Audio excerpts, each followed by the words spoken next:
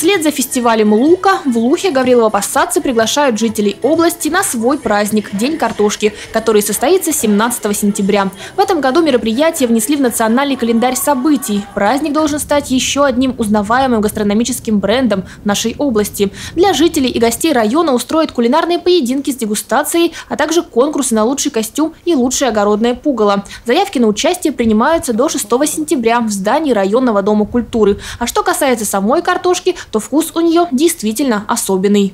Мы выращиваем такие же сорта, как и в других районах. Ну, не знаю, может, земли такие, может быть, просто отношения. Но я думаю, что в самом деле, я сам пробовал не раз, что горело-посадская картошка в самом деле имеет специфический своеобразный вкус, который отличается от других.